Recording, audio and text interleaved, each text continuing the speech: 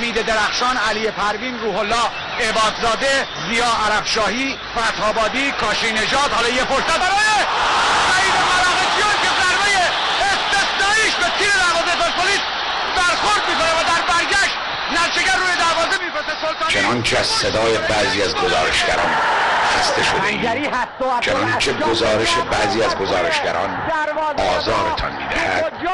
برنامه گزارشگر را در انتخاب گزارشگری آگاه مسلط و مستقل یاری رسانید چنانچه در خود ذوق گزارشگری می‌بینید صاحب صدایی مناسب هستید زبان فارسی را خوب صحبت می‌کنید حدودا پنج دقیقه از مسابقه ای را انتخاب و آن را گزارش کنید آگاه به صورت فایل برای ایمیل ما ارسال نمایید از بین گزارش های ارسالی ده نفر انتخاب و به اطلاع عموم خواهند رسید.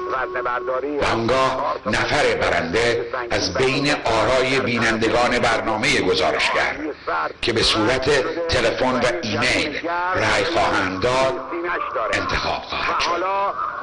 نفر برنده چنانچه از ایران باشد. گزارشگر کلیه مراحل و هزینه های اخذ اقامت دائم استرالیا را برایش انجام خواهد داد.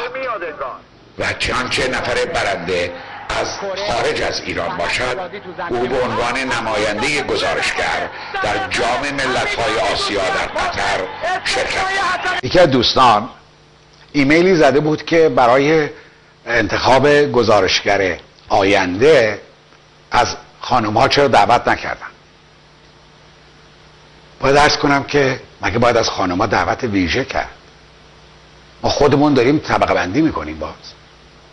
فکر می‌کنم در عالم شاید غیر از یکی دو تا کار. هر کاری رو که خانم ها آقایان می‌کنن خانم ها هم می‌کنن. ضمنا من از خدامه که برنده این گزارشگر آینده یک خانم باشه.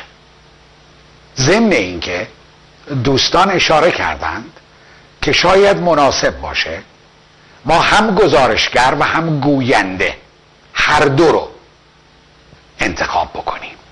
این است که به خصوص خانم ها خواهش می‌کنم. در این کار شرکت بکنید. نواراتون رو بفرستید. کمک کنید که ما کمک بتونیم بکنیم. چه کار گزارشگری چه کار گویندگی. اما خبرهایی که خدمتون خواستم بگم این است که جام ملت های آسیا که در قطر که برنده ما اگر خارج از ایران باشه نماینده ما خواهد بود در این مسابقات. قرعه کشی شده در چهار گروه گروه آ هست قطر کویت چین ازبکستان که از این گروه من پیش بینیم این است که بین قطر و کویت و چین و ازبکستان همشون شانس دارن که بیان بالا. در گروه ب عربستان ژاپن اردن سوریه گروه فوق العاده سختیه ولی شانس عربستان و ژاپن هستن.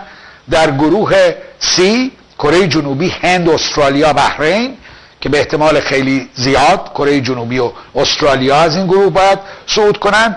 اما گروه مورد نظر ما عراق کره شمالی امارات و ایران. که عراق کره شمالی و ایران شانس های صعود از این گروه هستند. قطبی بالاخره یه خورده با تجربه تر شده و آرامتر صحبت می‌کنه. اون موقعی که داشت قرارداد و میبست می‌گفت ما نه تنها قهرمان این جامیم بلکه پیش بینی کرده بود که در 2014 تیممون میره جام جهانی. من نمی‌دونم این علم غیب اون موقع از کجا آورده بود. حالا علم غیبش خود کم شده. واقع بین تر شده. در اولین اظهار نظرش گفته که امیدوارم از گروهمون صعود کنیم. این حرف عاقلانه و مورد قبول همه است. ما هم امیدواریم که قطبی از گروه صعود کنه.